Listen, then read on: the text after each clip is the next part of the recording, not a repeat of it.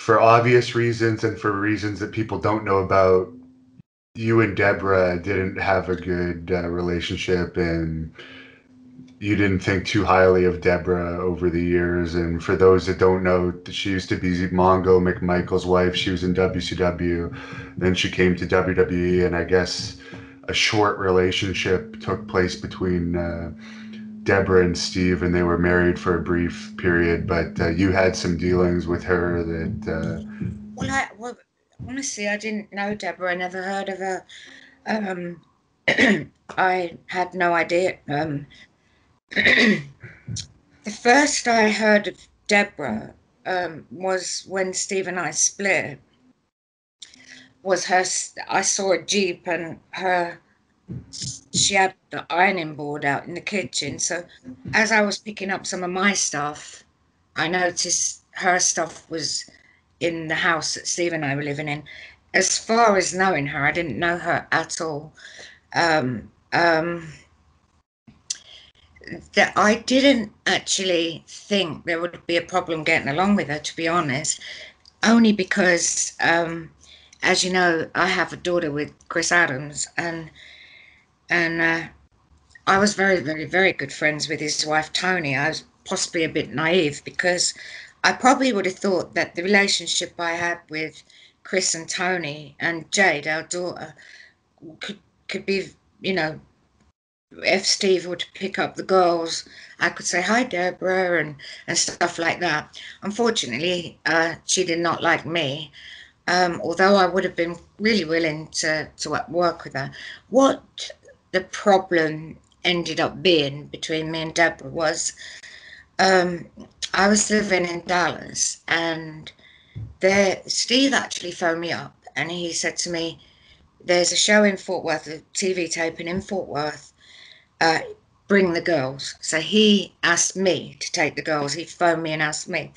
Now my girls, they they used to like making the signs, like the signs you hold up. Yeah, that was popular at that time.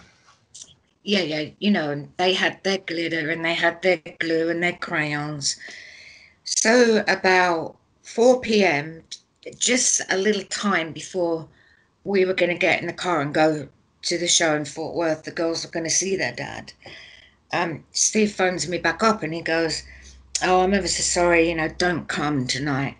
And I went, Oh, it, here's a problem here because the girls have made their signs and they're excited. Now you're going to make me look like a heel. But I tell you what, I said, I'll bring them to the show. We'll sit in the bleachers.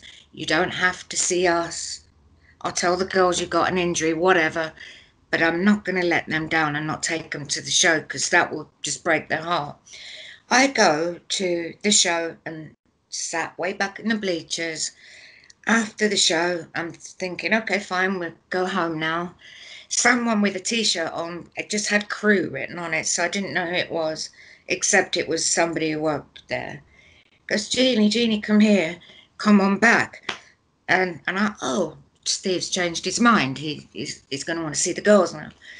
So, um, see Paul Heyman, and he goes, Jeanie, come back. So I'm like, okay, great. So Steve must have decided that he's not going to let Deborah tell him he can't see his own kids. so we go back. Steve sees the girls. See, uh, Hannah's there, and they see him briefly. But he did look a little quizzed. He looked a bit like, what are you doing here, kind of thing. Come to find out that the people who saw me brought me back, like Paul Heyman and whoever the crew member was, without Steve actually knowing. So, anyway, that's fine. The girls see their dad. We're leaving, ready to go to the car. And here comes a woman, like power walking towards me. It's Deborah. So she grabs Stephanie by the forearm I'll take the girls to see their dad, she said. And I went, No, no, they've already seen him. And I said to her, Do you have a problem with me being here with my kids or the kids seeing their dad? And she got right in my face. She said, Yes.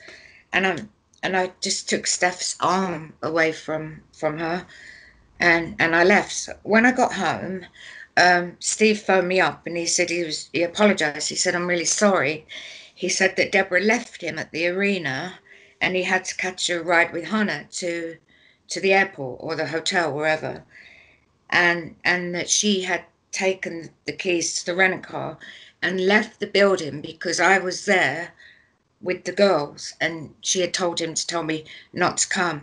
That's the point there that I didn't think that the relationship of all three of us would work, as in um, you have the girls on the weekend and this and that, because Deborah wouldn't allow that. Like Toni and I had a great relationship with with that, so that was the point that night. I I can remember sitting on the couch after Steve phoned and apologized, and I thought this is not going to work.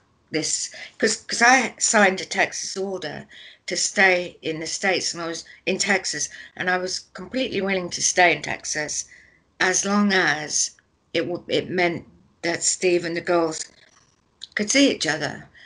But Deborah just wasn't letting that happen. So yes, there became an issue between us and and a, a couple of other small things like uh, I had to call Steve about tax, something to do with our taxes where he paid one year or I paid the other year, and sometimes something to do with the girls, whether it's something in school or something at soccer game.